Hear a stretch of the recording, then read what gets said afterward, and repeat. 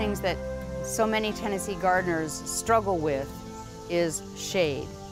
Another thing Tennessee gardeners struggle with is hillside, rocky slopes, clay soil. Well, today we're going to look at a garden where this this has all been conquered. Not only has it been taken care of, but it is just this is a spectacular garden. We're in Brentwood, Tennessee, in the garden of Leon Olenick, who belongs to multiple societies and is obviously a serious plantsman. Every plant here, Leon, is just beautiful. It's just spectacular. Well, thank you. We work on it, and the idea is something doesn't thrive, there's a whole lot of other plants we can put in its place. There you go. So, you know, that's part of what we work on. I used to try to save every plant, but I don't do that anymore. If it's well. if it doesn't work there, I'll try it in a different spot, and if it still doesn't work, then it's probably not the right plant for this area. Sure. Even though it might be a Japanese maple, and I've got lots of different Japanese maples. You sure do. Uh, it may not work uh, depending on the species or the variety. Sure, there's a lot of variation in, in even in a, the same species like Japanese right. maples, like Acer palmatum. Some work great, some, some are don't. much touchier, so right. it, it pays to experiment. And I see including you've got bonsai. You do that too. Oh yes, yes. I enjoy the small trees in pots, and I'm even now doing bigger trees in pots. That was a volunteer in my home in South Dakota when I lived there. This this it's, particular tree. It's an Amur maple, mm -hmm. and it makes a great bonsai. They really can't grow Japanese maples up there, so this is their kind of yeah, it's too cold small maple. But the only thing is, I've tried to reduce the leaves on it, and it keeps coming back with a vengeance. Yeah, so those are vigorous trees, yes, actually, in, yes. in nature. I notice, I mean, you have a real vision for this garden. It's not just sort of happenstance. You've designed it to, to for enjoyment. Yes, uh, it's, this is a primarily a garden for people. Uh, I've, I've got over 24 different benches and chairs wow. in the garden just, you know, for and yeah, it makes it harder is... for me to work now because I get to sit down and rest. and the next thing I know, an hour has gone by. And well, yeah. You know, and I see bird feeders everywhere. Oh, I mean, lots of birds. Oh, it's wonderful. Over 50 different varieties I've identified in my yard alone. Well, you've got this wonderful canopy of oaks and maples and, and ash. And... Sitting in that bench right there is great if you look up. Uh -huh. You can just just uh, look up between these leaves, especially when the sun, sun is shining. Oh, it's, it's beautiful. just gorgeous. There's nothing prettier than an Acer palmatum looking up through the leaves, mm -hmm. especially Japanese with the maples. light shining. Well, one thing I, I notice is that you've just got a number of, I mean, it's like everything is this beautiful specimen. And uh, let's talk about this, this maple right here, because this is an unusual tree. In this area, yeah. Yes, this is an Acer japonicum. It's uh, in the fall, it's noted for its fall color. It's uh, it's uh, dancing peacock is the name of it. The leaf size shape is unusual, and the colors in the fall is yellow, red, and orange. It's just a absolutely gorgeous tree. Well, it's really beautiful. Most of the Japanese maples that people put in are palmatum. Palmatums, yes. This is japonicum, which is actually means Japanese. This is the, the other Japanese maple. And I love the way you've layered things because over this Japanese maple is this beautiful blue atlas cedar. In terms of getting contrast for a garden, I think scale is the most important thing, and mm -hmm. that mm-hmm. has to do with size. And it's important that things be different in size, but not too different. I mean, they have right. to complement each other. they have to each relate other. to each other. Right. Yes. But uh, the this uh, cedar is the one that catches people's eyes. Mm -hmm. And they either hate it or love it. A lot of people will look at it and say, oh, Charlie Brown Christmas tree. and they won't think about the color contrast and the needle size and everything else that goes on with this tree. You are obviously a really thoughtful designer of your garden here and I'm noticing wonderful contrasts and sizes and tell me about how you think that sort of thing. There's four things that I look at primarily. The first one is color. That's not necessarily the most important. The next one is form. What tree or plant, what shape it is. Is right, it unusual? Habit. Yeah. Mm -hmm. uh, the, the next one is size or scale. Mm -hmm. And then the fourth thing is texture. Mm -hmm. Whether, you know, the, it's a fine leaf or whether it's right. a broad leaf or a compound leaf Right. And if I can get three out of four of those things to contrast within my vignette that I'm Mm-hmm. working on, I'm going to have an interesting garden. So you look at a little space. And right, and I do one space at a time, Right. and then when I go to do the next space, Right. I make sure it doesn't, it flows right from one the to first the other. one that I did. And I notice So you use a lot of art hard- objects and hardscape hardscaping is really important, and there's natural hardscape like the tree trunks and the rocks. and the rocks, Uh-huh. and then there's man-made, which are the statues These beautiful and the lights. These lights are actually functional. Okay. And that's there's probably more of them than what I truly like to see. Mm-hmm. But uh, it's, and then of course you've got the the chairs, the benches, the- Sure, the the human things. all of those things. But uh, but I and love they that. Mm-hmm. all have some kind of meaning. I mean, like this guy down here, the monk. right. You know, he's traveling through. What kind of things has he has he seen and done? What does he think of the garden? You know, and the cyclamen next to him. Isn't you that know lovely? that. Uh, I I think that that's part of what makes a garden interesting. And then over behind you there, we've got the dragons, and the dragons symbolize. Mm-hmm. Oh yeah. Uh, they're the protectors of the garden. They're uh, they're you know supposed they're kind of like our dogs, and you have Mm-hmm. a few. I have a couple of uh, of the Japanese dogs too, but. Oh uh, right. and then you've got hardscape like your bird baths and your Mm-hmm. fountains and that sort of thing, and your arbors and your bird feeders and your chimes, Mm-hmm. and all of that kind of adds to the enjoyment of the garden. Particularly, you know, there's there's the sound. How does the garden sound? Later on, we'll hear the stream. That gives one kind of sound, and when the wind is blowing, the chimes give another kind. And when there's not so many people here, you'll hear the birds Yes. and that gives another kind of sound. And So- I'm seeing like four seasons of thought here too, because you use a lot of conifers and There's- evergreens. I can come out to this Right. Mm-hmm. garden any time of the year and find things of interest. Look at this gorgeous I pine. don't buy things for their flowers, Mm-hmm. but I do have flowers the year around. I have stuff that flowers in the middle of winter. Mahonia, the uh, Do you have hellebores? hellebores, Yeah. mhm. those things, and a couple other things. They they may be small, but it's sort of fun when you see the bees out uh, Yeah. pollinating Sure. these flowers. You know. And these beautiful forms just really add so much. I love this pine weeping over this. That was man-made. Yeah. The form. So you I created took a, this, an upright and I pulled it down with uh, with ropes and twisted a it, and it bonsai. Basically, it's a big kind of yeah. Well, of. it- we would call that niwaki. Okay. In the Japanese form, it's called niwaki, It's really beautiful. and it's doing uh, an unusual form to this is what just would a, be a a regular white pine, a American white pine. It was collected at about six inches high. Wow, that's beautiful. So It just and I in the fall this place must be awesome. A Parrotia. Oh my gosh, the color of those in the fall is amazing. Persian Parrotia, yeah, that that's uh, the thing that's interesting now, and it's just coming into being, is the bark on it is starting to show up, Mm-hmm. It flakes. particularly at the base of the trunk. You'll see, and as the tree gets older, the bark on this tree will show up as mottled, Oh. and it'll it's interest year round.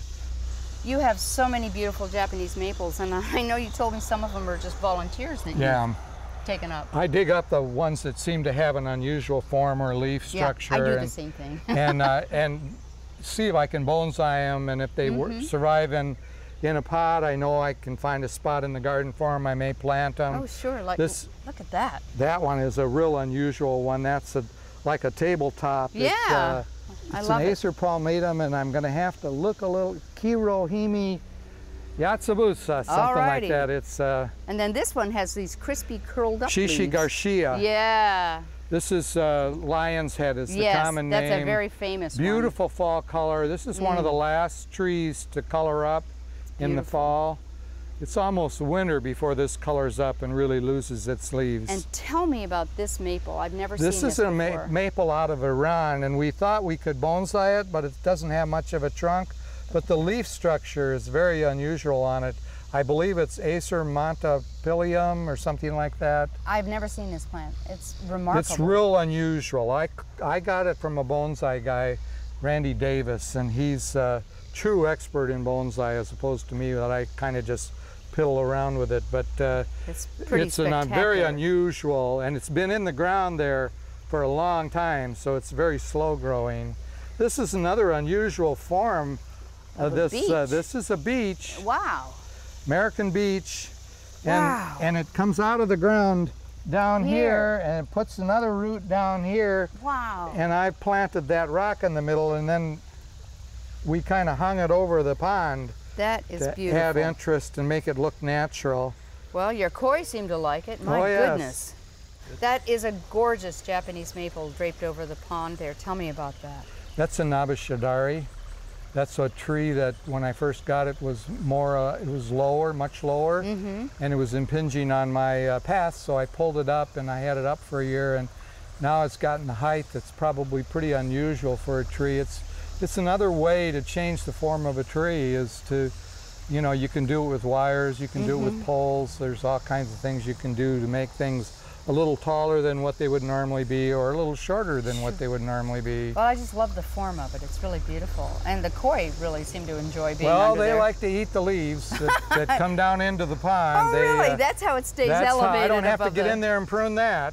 This is uh, Thumbergini, Pinus Thumbergini, and uh, it's it's uh, it's a variety called Arakawa Sho. Yeah, that's the Japanese black and pine. uh, not only is it uh, has is it an unusual form in that it's not straight upright, it likes to contort somewhat, but we've also pruned on it and we do candle pruning in the spring and needle pruning in the fall and we just needle pruned it to bring it down better into scale. So I can not, see your whole thinking here and how you've made a vignette out of this space. It's really beautiful with the, the different textures of the carex, the, the sedge coming up, and the, Right. and the softness of that Inaba Shidare behind, and this beautiful angular, almost architectural pine. One of the things that happens, particularly in ponds, is that the the uh, plant material, if you have, especially if you have a lot of fish, grows like crazy. Sure, And so your. Scale can get way out of whack, uh, and you have to be very selective. Now I've got three different varieties of this of the uh, sedge, and Mm-hmm. and uh, they're all within scale for this size Right. pond. Yeah, that but looks beautiful. But I used to have water iris, and it would grow so yeah, big gets like that tall. that it, it just didn't fit the pond right and Right. also had some other things in there that just they just didn't uh, look right as they got too big so. That thyme is happy. yeah that's elfin thyme Oh, isn't that beautiful? and then there's mother of thyme in there too mm-hmm. They both and, look really and it happy. really likes it there i tried uh, I, at one time i had six different varieties of thyme in here Oh, wow. along the pond edge and what survives we keep what no doesn't kidding. we don't That's another know? plant where some of it is really rugged and, And- grow anywhere, and other, and the rest of it always dies. You know, sometimes things are the opposite from the way you think, too. I used to think that the, the skinny leaf Japanese maples were going to fry because the leaves look. Right. so uh, delicate. Yeah, delicate, yeah. right? You know, but I found it's just the opposite. The Japanese maples that have the really big fat leaves They fry don't it. do They well scorch. in Yeah. sun, Uh-huh. and the, the skinny ones do fine in full sun. There you go. So Well, it, you know, as gardeners, we're always learning anyway. Always. It never stops. this pine is a Scotch pine on a standard. It's Isn't a dwarf? Scotch. It's like a big muffin. And we, we've pruned on it some, but not a lot to keep it in this round shape. But look at the trunk on that thing. It is How old so, is that plant, would well, you I, say? I got that from a box store about probably 16, 17 years ago. Yeah. Wow. And it was just in a five or 10 gallon bucket. It wasn't uh, Wasn't that big? big, no, no, it's, but it's done very well yeah, here. it's happy. Leon, I really love this view. Uh, It is just a great example of the right plant in the right place and just looking wonderful where it's situated. And tell me, what, what kind is this? I think it's emerald spreader. I bought several of them, and this one has done great. The ones in deeper shade that are further up in the garden have really struggled. One of them is not looking good at all, but and I'll probably wind up taking it out. But this one is just loves it here. It gets a little more light, so unlike some of the yews we think you know of as a shade plant, Mm-hmm. I think this one really likes more sun. It gets afternoon sun, so it Right. gets the heat of the day, and it really has thrived here. I've done very little pruning on it, trying to keep it in a natural form. I do occasionally take out any leaders that are kind of going Yeah, just sort of straight up in the air, you know, kind of yeah. because I don't want it to grow that way. I want to be able to see the pond. Sure. At the same time, I like that it hangs over the pond because that gives it a more natural look. And That's what again- trees want to do. And it's evergreen. You've got a lot of deciduous Yes. stuff around, so it's it's there Right. all winter. Well, and one of the things, even though something is deciduous, for instance, that Anabi Shadari that we were looking at, Mm-hmm. if you came back in the winter and looked at that, you'd say, what an interesting form on The that. shape of it, Because the branches go everywhere, and this one too. Uh, this is uh, garnet here. Yeah. up here on this side is a garnet, and that's got a little different uh, form than the Anabi Shadari, but they both are dissectums and they're great. I love this little path you've installed here along the edge of your property. It's charming. Thank you. You know, one of the things that we've tried to do is uh, utilize the space and to try to hide this concrete ditch that's over here that Yeah. I've got to work against. And by putting things of interest along the edge, like this this uh, spruce here, I love this thing. Mm-hmm. This yeah, it's got real unusual color and This is Skylands. Skylands, yeah, it's real Mm-hmm. hardy here. It seems to like it in full sun. Yeah. I've got another one that's in more shade and it's not showing this pretty Right. golden color Yeah, like the- this one is. So it, it really needs to be in full sun if possible. And I really like the way you've done this little channel here to get the Uh, we water had a little water drainage problem here, so we just put this in That's very dry decorative. creek bed and, and a nice flat adds, slab. it adds interest and Mm-hmm. and it makes it more of a stroll through type garden. Here's another one of these little seating areas you've created, which is just charming beyond belief. I love this thing. Yeah, the grandkids love it too. We sit here and we play tic-tac-toe and, and I'll sit here and watch the birds and because I've got bird feeders around and and uh, th- this is a one-person bench. There's one spot on each of these, which is I can real comfortable. But Well, you wouldn't want to sit over no, here. it's not. It's a little bit, but it's an interesting. It's a natural form. It's And lovely. it's, it's recycled teak. It's the roots from from teak trees that would have just been burned, and they've made them into benches. And, and I of course, think it's they're really famous cool. for weathering in this beautiful silvery gray. Right. That's gorgeous. I just love it. What a lovely little setting that is. Oh, wow. Look at what you've done with the slope. That is just beautiful. Thank you. That was a problem area when we first moved here. It was slippery, slidey slope of grass. yeah. And we had a timber wall in there that got religion Mm-hmm. and became holy, and so we had to take the wall down. This area was designed by my son, who's a landscaper. It includes a lot of unusual specimens. This area slopes so badly that he brought in these big boulders and did a wall here and there Mm-hmm. to kind of hold things in place, augmented the soil, and I, I think it turned out really nice. Oh, I'm quite beautiful. pleased with it.